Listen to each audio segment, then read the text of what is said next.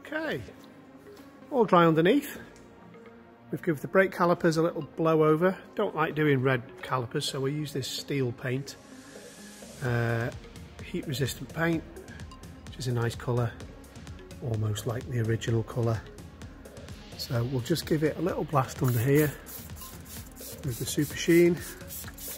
Again, this is just a temporary thing because no doubt it will be absolutely chucking it down when I uh, when I move the, the car out of here.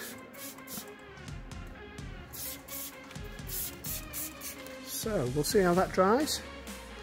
Mean, definitely an improvement. Not absolutely perfect, but pretty good. Nice and clean. We'll get the wheel back on. We'll get all the wheels back on and we'll see what the net result looks like.